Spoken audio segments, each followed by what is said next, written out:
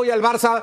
Era difícil, eh, ahí hay que ponerse en el contexto de partido, era difícil eh, conseguir o encontrar ánimo para jugar el partido después de que se confirmaba lo que ya todo el mundo sabía que iba a pasar en Milán, pero no sé si es un drama ver la presentación más allá de eso que ha hecho hoy el equipo de, de Xavi, que coincide además con el rival de siempre, con ese que le lleva comiendo la cabeza los últimos años en Europa.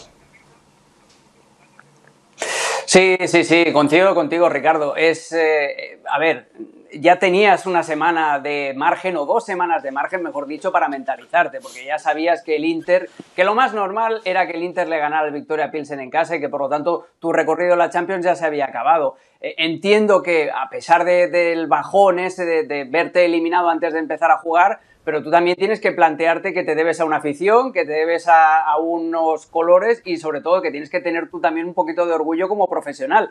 Y los jugadores del Barça hoy ese orgullo al menos no, lo demostraron. El Bayern Múnich fue una máquina de hacer faltas, por ejemplo, en la primera parte. Ellos sí que salieron a comerse el partido y, a demostrar que tenían ganas de, seguir imponiéndose en el Camp. Y lo peor para, esta experiencia del Barcelona de Xavi Hernández en la Champions es que el mejor partido fue el primero, fue en Múnich. A partir de ahí es un equipo que ha ido desinflándose, no solamente a nivel de juego, sino también a nivel de carácter, a nivel de tener ganas de ganar.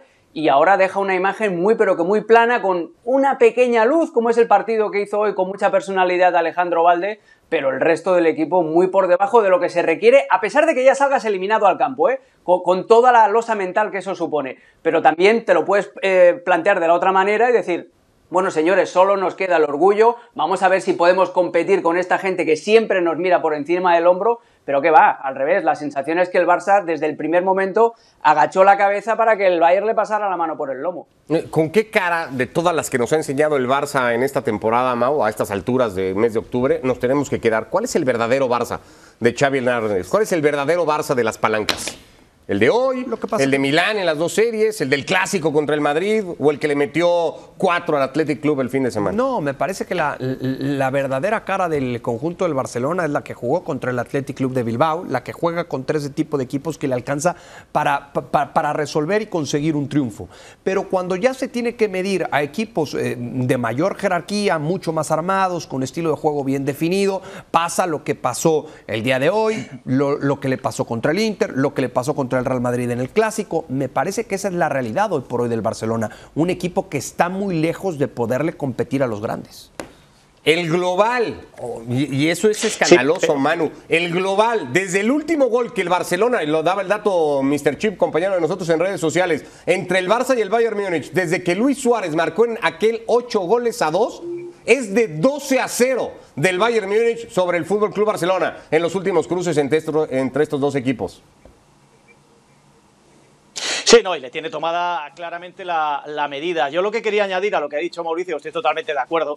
Este Barça está para ese tipo de partidos, para un Atleti que no comparece, para un Villarreal que se le acababa de morir una figura importante eh, minutos antes de que arrancara el partido, o para jugar contra el Cádiz o contra el Valladolid. Yo lo vengo diciendo toda la temporada. El problema está en cómo se infla y el problema está en que se fichó mucho y creíamos que bien a principio de temporada. Entonces, o estos jugadores han perdido la calidad con la que llegaron al Barcelona o están mal manejados.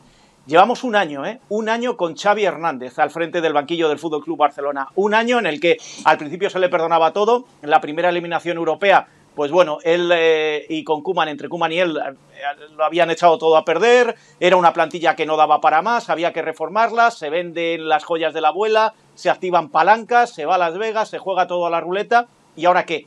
¿Y ahora qué? Porque si tú has fichado lo que has fichado y se supone que tienes una plantilla como la que tienes, en el mes de octubre no te puedes quedar fuera de Europa de la forma que te has quedado fuera de Europa. Y sin embargo, sigue habiendo, lo que decíamos anoche con algunos que le, erais condescendientes con el Real Madrid, yo veo todavía condescendencia con este Barcelona y con, y con Xavi Hernández. Segundo año consecutivo. Esto sucede hace unos años y el Camp Nou hoy es un auténtico incendio. Y no ha pasado nada. Bueno, vamos a revisar el global entre los últimos enfrentamientos entre el Bayern Múnich y el Fútbol Club Barcelona. Los últimos seis tiene un saldo de 22 goles a favor del conjunto alemán, Mau. Dos del eh, Fútbol Club Barcelona. Es la sexta victoria consecutiva del Bayern ante el Barça. Y no sé si es un golpe de realidad, no sé si es... No, sí, sí es un golpe de realidad. Sí, son 20 goles de diferencia y lo que hablábamos, ¿no? La forma en cómo en los últimos tiempos el Barcelona se ha ido alejando de esos gigantes de Europa. Así tal cual. ¿Le queda grande la Champions al Barça? Hoy no sé si no, no, sé si es para decir que le queda grande, pero sí me parece que hoy el Barcelona se vuelve en un equipo más de esta competencia, muy lejos de ser un candidato, ya deja tú al título, un candidato a estar en, en instancias finales. Cuando arrancó el torneo, nadie, me parece, nadie que vea un poquito de fútbol ponía al Barcelona de, dentro de los semifinalistas. Bueno, inclusive muchos lo dimos como eliminado en la fase de grupos y hoy se termina por confirmar eso. Estamos viendo, Alex, el andar del Barça en Europa tras el último título, aquel de Luis Enrique conseguido en 2015, tres veces en cuartos de final, unas semifinales, octavos de final, cuartos de final y dos veces en fase de grupos. ¿El Barça ya no está para competir en la élite europea? No, viendo los resultados te queda clarísimo que ha tenido una evolución las dos últimas temporadas. Además coincide con ya con la marcha de Leo Messi, que también en ese proceso de reconstrucción profunda del Barça hace que no pasen ni siquiera de, la fase de grupos. A mí me, ha parecido la, definición que han hecho tanto Mau como Manu es, perfecta. El Barça ahora está para abusar, entre comillas, o, o para ganar, si me apuras, un día que tiene un buen día, con, con facilidad a equipos de, de, la nobleza, entre comillas, de, de, la Liga Española, pero no le da para competir con la élite europea. Eh, el Barça está siguiendo un camino de degradación muy parecido al de la Juventus también, y es curioso, ¿eh? dos de los eh, tres equipos que siguen ahí empecinados en, en, la Superliga. Eh, es un, un, Barça que no tiene el proyecto necesario y que yo creo que vive atrapado, y lo hemos comentado más de una vez, entre la necesidad de darle tiempo a un proyecto que requiere pues eso, de mucha perfección, de, mucho trabajo grupal para eh, jugar como se pretende jugar o como te lo quieren vender que quiere jugar el Barcelona. Y por el otro lado, lo que ha dicho Manu, las, las palancas, a, haber empeñado hasta las joyas de la abuela, necesitas rendimiento inmediato. Entonces tienes, por un lado, un entrenador y un grupo que no se hacen un día, sobre todo con tantos fichajes este verano y que necesita un tiempo para, para mejorar, pero luego por el otro lado tienes todas las urgencias económicas que tú mismo te has generado con esas palancas y, y, encima, además, para acabarlo ya de rematar, has tenido la mala suerte de que caíste en uno de los peores grupos con un rival que, visto las estadísticas, Ahí no estoy de acuerdo, Alex. Comida, tenía comida a la cabeza y luego encima eh, lesiones puntuales, sobre todo en la zona de atrás, que te han obligado a jugar pues, con los Sergio Robertos o, o, o hoy con, con, Bellerín, que ya hemos visto la masterclass que ha dado de cómo no defender en transiciones eh, eh, ataque-defensa. Entonces, a ver, se ha juntado todo un poco, no es ninguna excusa lo que estoy diciendo, pero tampoco es un hecho que podemos obviar. Yo creo que hay una cosa la que, que, que, que se obvia muchas veces. No hay autocrítica. No hay autocrítica. Antes del partido hoy, Mateo sí, Alemani sí. ha dicho que el Barça estaba eliminado por un mal arbitraje en, en, no. en Milán y porque eh, la mala suerte de haber hecho un buen partido en Múnich y no haber ganado. Señores, se hizo un buen partido, se hizo una buena primera parte, primera al parte. final el 2-0 es el 2-0 en Múnich. Y además estaba jugando contra un Bayern en crisis. Acordaos cómo ha empezado el Bayern esta temporada, que no es líder, que el líder en la Bundesliga es el Unión Berlín. Y luego te estás enfrentando al Inter de Milán, que es un equipo que también está en crisis que no está ahora mismo en posiciones europeas en su campeonato, que le están uh -huh. superando equipos menores.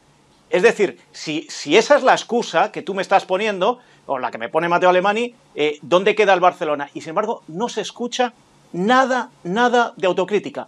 Absolutamente nada. Se sigue pensando que se fichó bien, lo ha dicho Alex, Bellerín hoy se ha comido todo.